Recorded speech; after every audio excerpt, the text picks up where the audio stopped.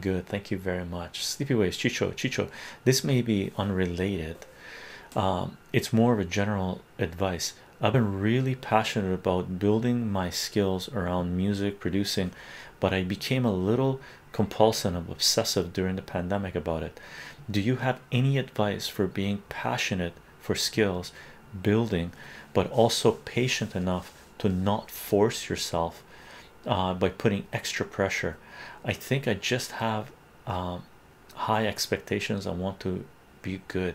Blah uh, so here's the kicker sleepy waves. There's a fine line between uh, letting your passions overwhelm you and take control of your life and you sacrificing other things that are important in your life to just being very passionate and very committed to what it is that you're doing i have no problem by being compulsive and obsessive to a certain degree because i am when i do certain things right?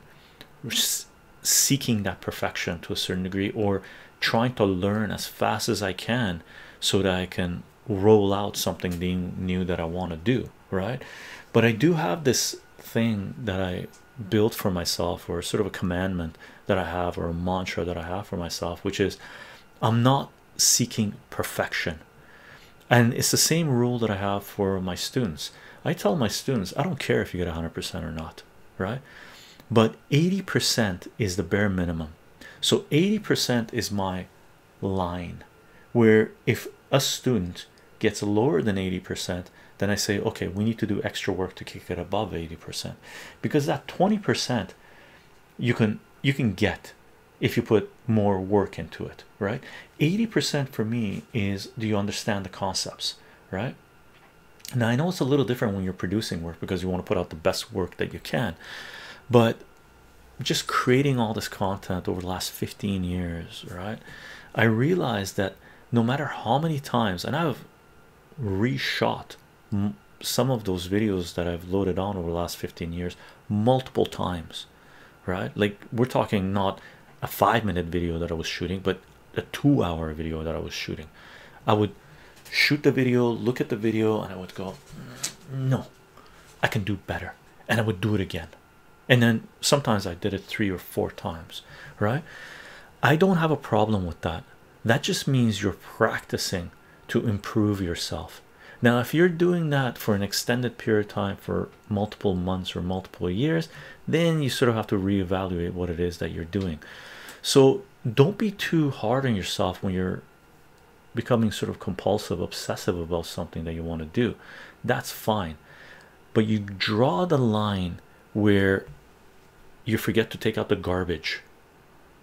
Maybe not for the first week but the second time. If you forget to take out the garbage because you're totally obsessed with what it is that you're doing right now you're doing it wrong. The garbage needs to be taken out if you if you forget how to eat or if you forget not how to eat but if you forget if you forget to eat right and you're getting headache because you're dehydrated then it's time to take a break and walk away. If you're sitting in a certain posture and your muscles start cramping up and you're you're having back pain and stuff like this then you need to go for a walk. And it's always a good idea to do that because you can reevaluate sort of loop whatever it is that you're doing in your head and pick out the problem areas right? Sometimes the best way to improve your work is to take a break from your work right? So there's a whole bunch of techniques you can use um, and the more you do the more you learn right? Like some of the like seriously I've waken up over the last I don't know whatever number of years I've waken up in the middle of the night having a solution to a problem that I had right? And sometimes I get up and go to the computer and do it. And I you know get up and sometimes it's a five minute gig sometimes it's I get up at two o'clock in the morning and I'm working away until 10 a.m right? And then it's time to catch a little break. It's different for everyone.